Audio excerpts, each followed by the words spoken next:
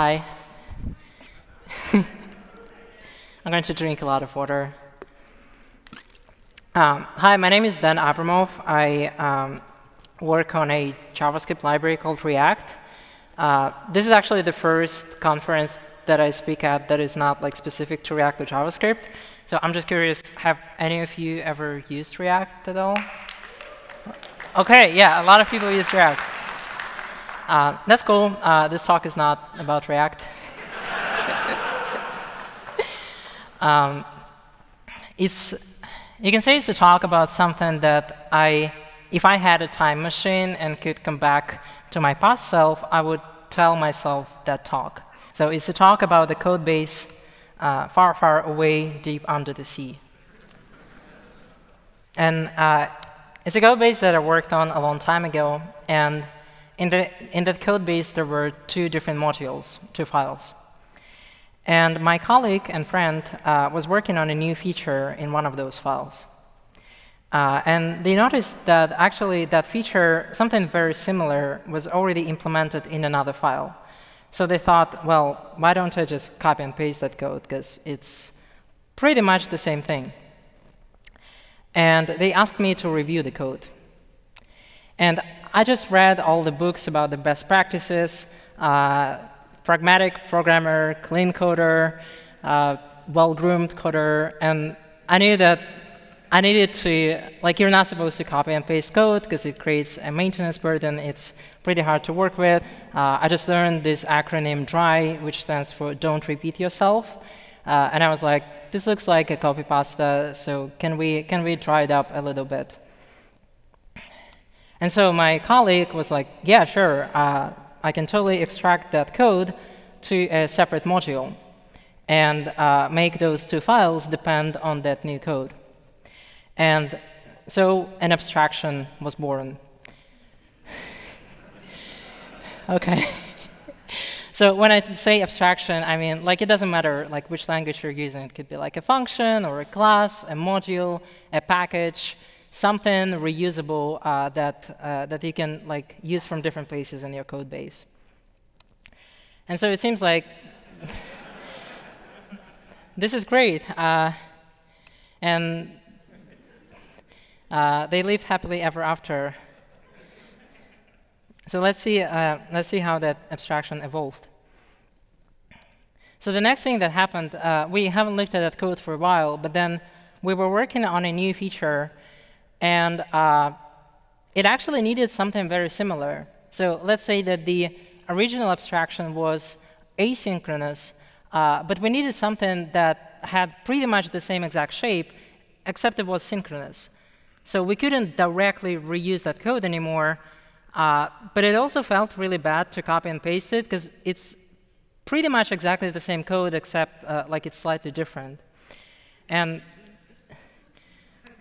well, it looks like we, we shouldn't repeat ourselves. So let's, uh, let's just unify those uh, two parts and make our abstraction a bit fancier uh, so that it can handle that case as well. And we felt really good about it. It is a bit unorthodox, but that's what happens when code meets real life, right? Like you make some compromises, and at least we didn't have to duplicate the code, because that would be bad, right?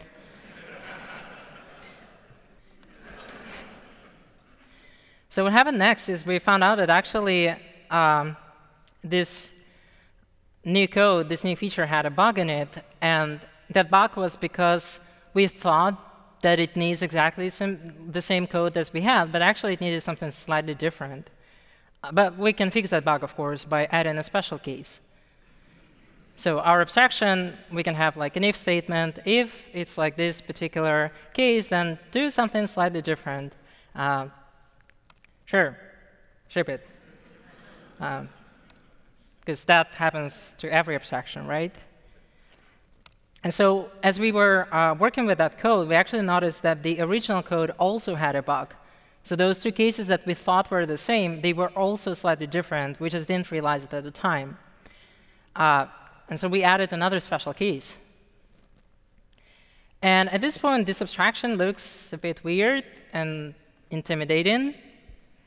Uh, so maybe let's make it more generic. Why do we have all those special cases in the abstraction? Let's pull them out from the abstraction uh, where they belong in our uh, concrete use cases. So kind of looks like this. So now our abstraction doesn't know about any concrete cases. It is very generic, very beautiful. Nobody really understands what it represents anymore. Oh, by the way, we need to add, like now that it's parameterized from different places, we need to make sure that all call sites are parameterized. Uh, but like, it was such a gradual progression that at each step, it kind of makes sense to like the people writing and re reviewing the code. So we just left it at that. Uh, and some time passed. And so during that time, some people have left the team, some people joined the team.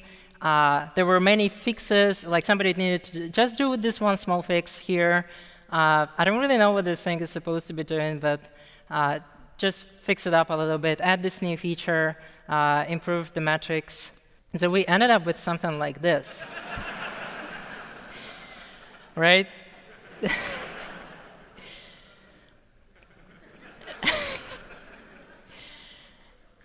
and like, again, each of those individual steps kind of made sense, but like, if you lose track of what you were trying to do originally, uh, you don't really know that you have a cycle, cyclical dependency or this weird thing that is like growing somewhere to the side just because you don't see the whole picture anymore.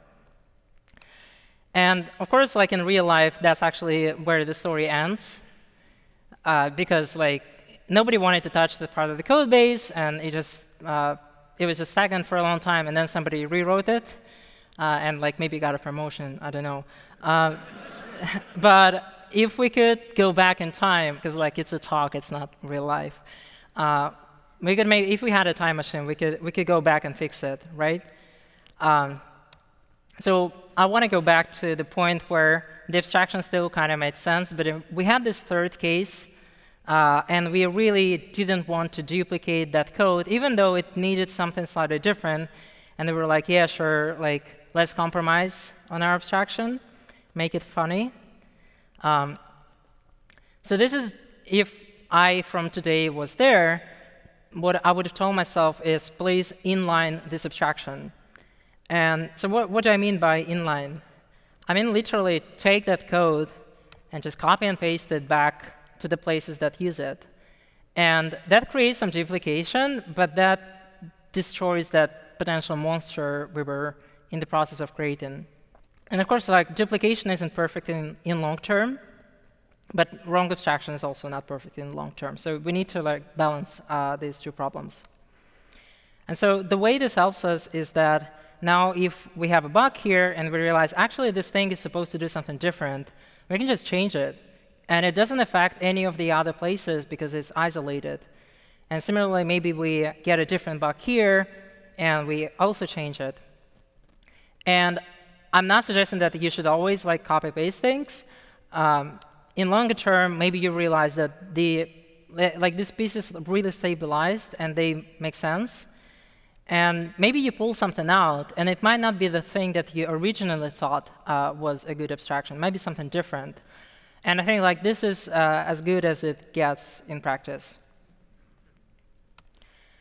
And if I heard this, like when I was a sweet summer child, uh, I would have said, but like that, that's not what they tell us. Uh, I, I heard that copy pasting is really bad.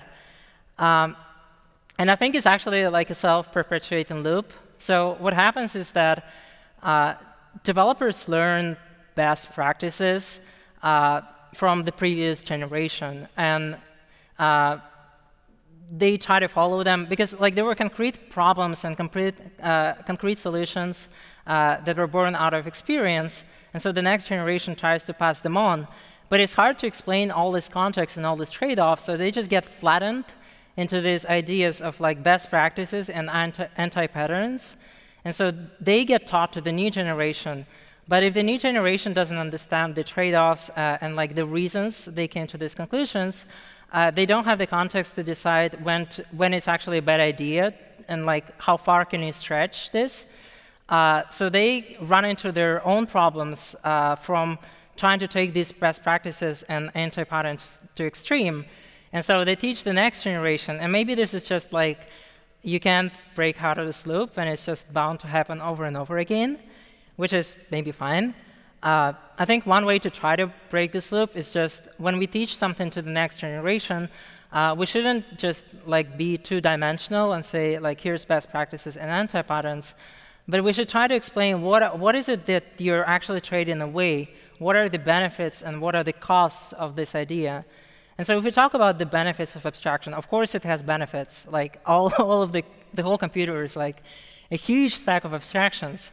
Um, and I think like concrete benefits are uh, abstractions let you focus on a specific intent, right? So if you, if you have this thing and you have to keep it all in your head, but it's actually really nice to be able to focus on a specific layer like maybe you have like several places of code that, where you send an email, and you don't want to like know how an email is. Like I don't know how emails are being sent. It's a mystery to me that they even like arrive. Uh, but I can call a function called send email, and well, uh, it works most of the times. And it's really nice to be able to focus on it. And of course, another benefit is just being able to reuse code written by you or other people and not remember how, how it actually works. So if we need something and exactly the same thing that we already used from different places, it's very nice to be able to reuse it. So that's a benefit of abstraction. Uh, and abstraction also helps us avoid some bugs. Um, so in the example where we have a bug in, like maybe we copy-pasted something, and that's like an argument against copy-paste is we copy-pasted something, and then we found the bug in one version, and we fix it. Uh, but then the other version stays broken because we forgot about the copy-paste. So that's, an, uh, that's a good argument for why you'd want to extract something uh, and pull it away. But when we talk about benefits, we should also talk about costs. And so one of these costs is that abstraction creates accidental coupling. Uh, and what I mean by that is, uh, so we have these two modules uh, using some abstraction, and then we re realize that one of them has a bug, and we have to fix it in the abstraction because that's literally where the code is. Uh, but now it's your responsibility to consider all of the other call, call sites of this abstraction and whether your fix might have actually introduced a fix in another, uh, introduced a bug in another part of the code base. So that's one cost. Like maybe you can live with it. Most of us live with it, but it's it's a real cost. And I think even like more dangerous cost is the extra indirection an abstraction can create. So what I mean by that is that the promise was that I would just be able to focus on this specific layer in my code and not actually care about all the layers. Like, is that really what happens?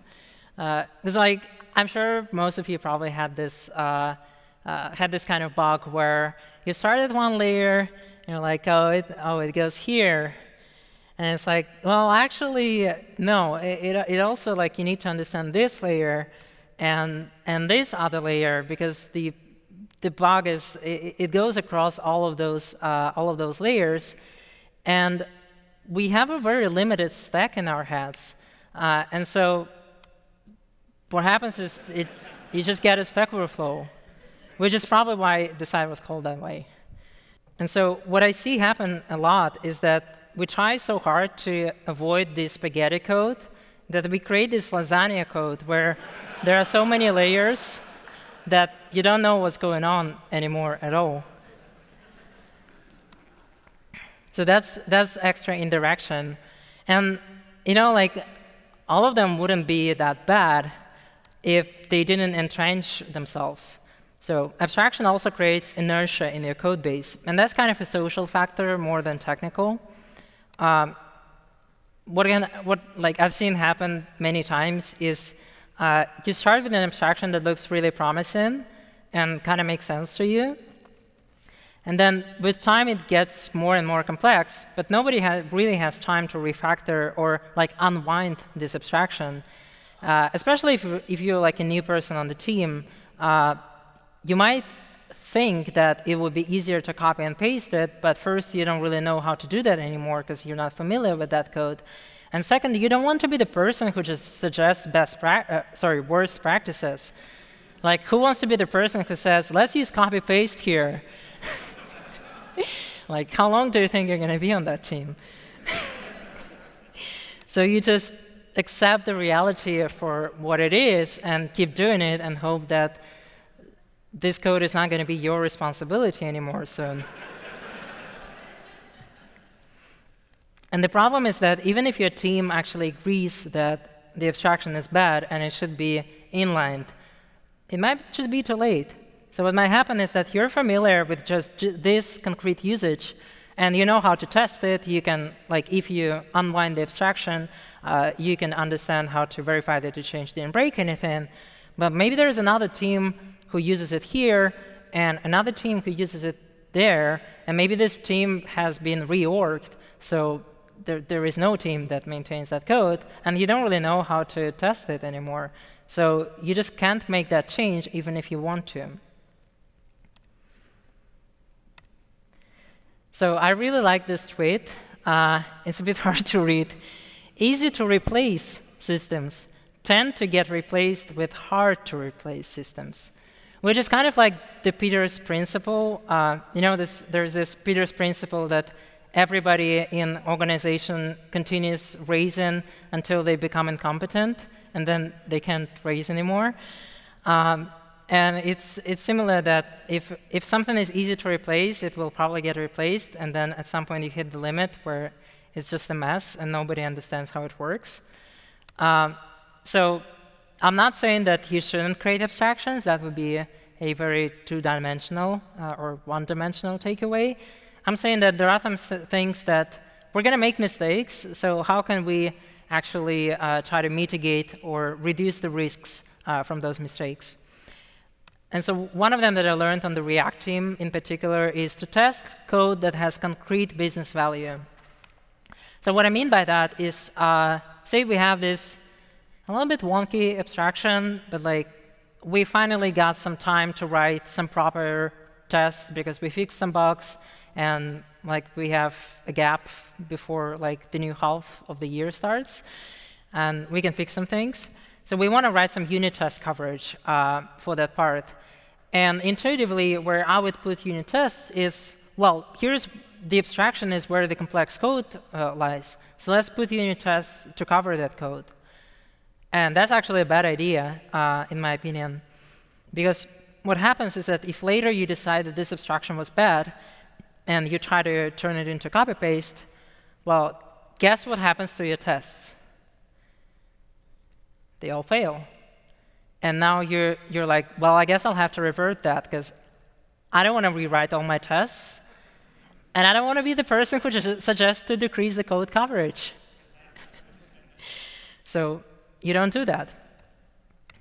But if you have a time machine, you can go back and you can write your unit tests or integration tests or whatever you want to call them, fat of the day tests, against the code that you actually care about that this code works, against concrete features. And then this, these tests, they don't care about your abstraction. So you can inline the abstraction back, you can create five layers of abstraction, the test will tell you whether, whether this code works. So actually, they will guide you to refactor it because they can tell you that your refactoring is, in fact, a correct one. So testing concrete code is a good strategy. Uh, another one is just to restrain yourself. Like, you see this pull request, you get this itch, like, oh, this looks duplicated, and you're like, nah, take a walk. Because, like, if you have this, you know, like you, uh, you might have like a high school crush, and they are really into the same obscure bands on Last.fm that you're into. that doesn't mean that have a lot, you have a lot in common. Uh, and they're going to be like a good life partner. So maybe you shouldn't do the same to, to the code. Just because the structure of these two snippets looks similar, it might just mean that you don't really understand the problem yet. and give them some time to actually like show that uh, this is the same problem and not just accidentally similar code. And finally, I think uh, it's just important that if if that happens, if you make a mistake, uh, it should be part of your team culture to be OK with, let's, this abstraction is bad, we need to get rid of it. Uh, you should not only like add abstraction, but you should also delete them as part of like your healthy uh, development process. So that means that it should be OK to leave a comment like this and say, hey, this is getting out of control. Let's spend some time to copy and paste this, and later we'll figure out what to do with it. Uh, but th there is also a technical uh, component to this. So if your dependency tree looks like this, it might actually be really challenging to inline anything because you're like, well, I have this thing I want to inline, but like, okay, I can copy it, but there's some mutable shared state that is now being duplicated. And I need to figure out how to rewire all of those dependencies together. And it might not even be feasible, so you just give up. Um, and I don't really have a good solution for this. Uh, what I've noticed is that for some code, you can't really avoid it. Like, for example, in the source code of React itself, we do have a problem like this. Because like we try to mutate things for you so you don't have to mutate them. Uh, so we have this all, all this uh, kind of interdependencies between modules that can be a bit difficult to think about.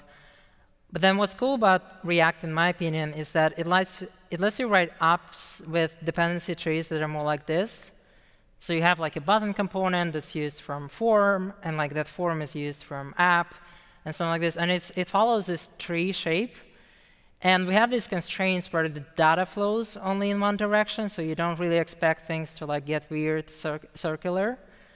And what it means is that you're going to make mistakes, you're going to create bad abstractions, but does your technology make it easy for you to get rid of them?